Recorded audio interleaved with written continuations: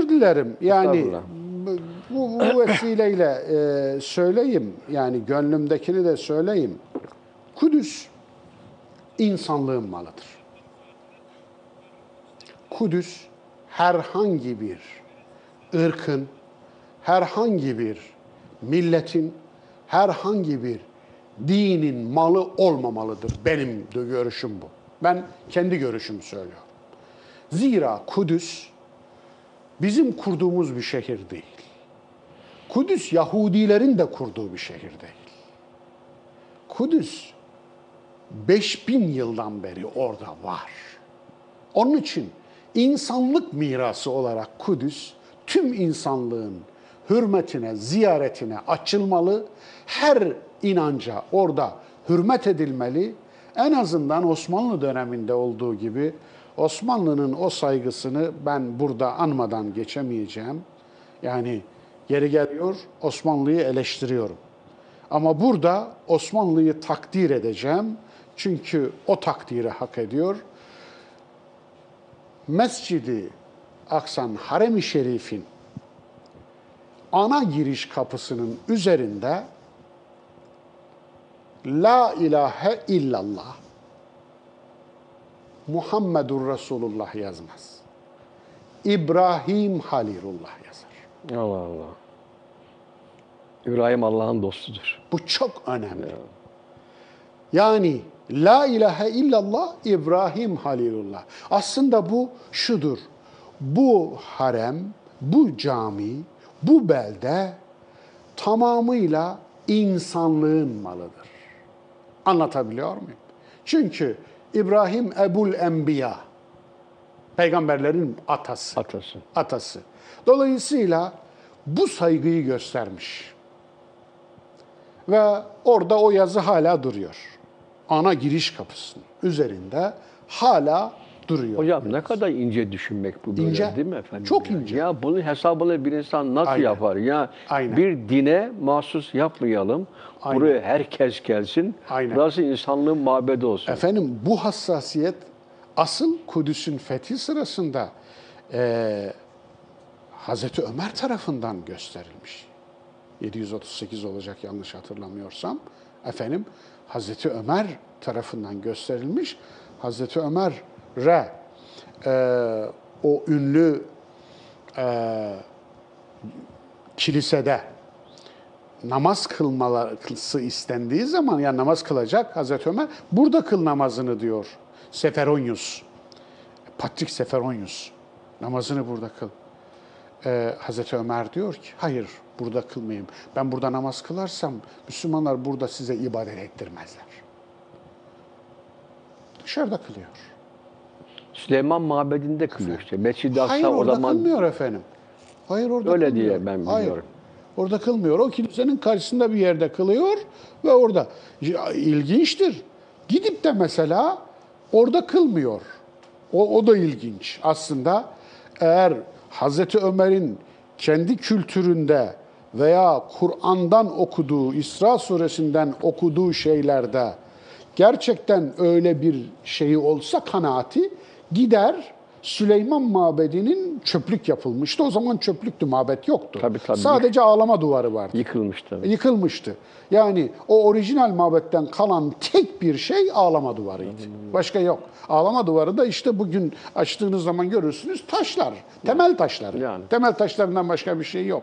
Arasına e, Yahudiler kağıt sokuşturuyorlar. Dileklerini yazıp kağıt sokuşturuyorlar. Yani Allah'a dilekçe verme duvarına çevirmişler orayı. Ağlama duvarı. E, ağlama duvarı. Hala ağlıyorlar. Efendim ama ilginçtir oyun çöplük oranın içi. Zira e, e, Bizans kraliçesi orayı Yahudilere e, kininden dolayı işte bizim peygamberimizin katilleri, İsa'nın katilleri diye e, çöplüğe çevirmişler. Onun için ora hala çöplük. Hazreti Ömer ya şurada bana bir namazlık yer açın da burada namazımı kılayım da demiyor. Orada ilk mescidi yaptıran Mervan. Mervan. Yani bugün Mescid-i Aksa diye bildiğimiz mescidin e, yanında daha çukurda bir mescit var. İçi moloz doluydu. E, sağ olsun Rais Salah ve arkadaşları e, Kudüs Vakfı orayı temizlediler. Şimdi ibadete açıldı. Daha engindir. Yoksa işte Kubbetüs Sahra orayı e, Mescid-i Aksa diyebilirler. Alakası yok. O yeşil kubbe. O kubbe e, Abdülmelik bin Mervan tarafından yaptırılmıştır. Hatta hatta Kabe'ye alternatif olsun. İnsanlar hacca Kabe'ye gitmesin, oraya gitsin. Zira Kabe'ye giderse rakibi Abdullah İbni Zübeyir'in rebiat eder diye o dönemde 9 yıl Kabe'ye alternatif olsun, Mekke'ye alternatif, Kudüs olsun, Kabe'ye alternatif. Kubbetü Sahra, kaya kubbesi, Sahra, Sahra değil, Sahra çöl demek, Sahra kaya demek. Kaya kubbesi, oradaki kayanın üzeri işte e, İbranilerin, İsrailoğullarının e, inancına göre e, Hazreti İbrahim'in İshak'ı kurban ettiği varsayılan kaya. Böyle inanılan kaya. Aslında orada bir kaya falan da yok. Hele hele bugün e, bazı e, internet sitelerine baktığınızda Haceri muallak falan, a- havada bir taş falan, havada taş maş yok, taş bile yok. Orada bir mağara var. O mağaranın doğal bir e, uzantısı e, efendim, tavanıdır yani. Onun için e, oranın hikayesi de ayrı bir hikaye, oraya girmeyeyim. Yani bugün şunu söyleyeyim, Kudüs üzerinden artık insanların ölmesi, öldürülmesi yeter. Kudüs'ün bir kavga nesnesi olarak kullanılması yeter. Kudüs istismarı yeter. Kudüs aslında sever gibi yapanlarının da istismar ettiği, sövenlerin de istismar ettiği, dövenlerin de istismar ettiği, sevenlerin de istismar ettiği bir istismar nesnesi olmuş durumda. Bundan behemehal ve acilen çıkarılmalı. Nasıl çıkarılacaksa, ne yapılacaksa uluslararası bir zeminde Kudüs insanlığın ortak malı, insanlığın ortak değeri ilan edilmeli ve oraya herkes, insan olan herkes elini kolunu sallayarak ama barışçı bir biçimde. Yani İslamca, yani barışa layık bir biçimde barış eri olarak barış içinde gönlünde, aklında, elinde barış olarak girmeli, çıkmalı, gezmeli, görmeli ve Kudüs artık kavga nesnesi olmaktan çıkarılmalı. Yoksa Kudüs'ü herkes istismar ediyor. Herkes. Sadece Kudüs'ü tahrip edenler veya Kudüs'e saldıranlar, Kudüs'te kan dökenler değil. Kudüs'ü savunduğunu söyleyenler de istismar ediyor.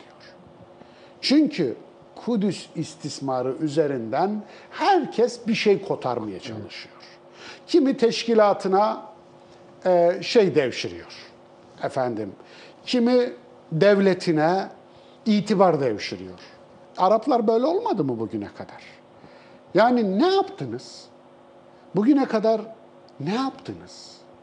Kudüs hep bir kavga sebebi olarak kaldı ki orada ihtiyaç halinde bak bak kuşa bak diyesiniz diye milleti Kudüs'e döndürüp arkadan başka fır- fırıldaklar çeviresiniz diye Kudüs'ü bir çıngırak yaptınız.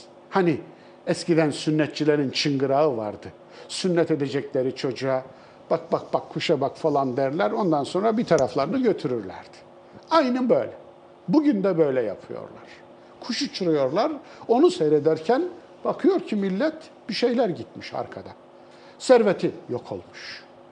Bakıyor ki millet özgürlüklerini, iradelerini ellerinden almışlar. Bakıyor ki millet iradelerine zulmetmişler vesaire. Onun için yani şahsi kanaatimde bu Kudüs insanlığın ortak barış adası olmalı. Ondan öte bir şey daha söyleyeceğim. Mekke özgür mü? Ben söyleyecektim Ya. hocam işte iki tane daha şehir katalım mı böyle? Mekke özgür mü? Özgür mü Ne yani? kadar özgür ki. Yani Kudüs efendim üzerinden e, birileri hamaset köpürtüyor.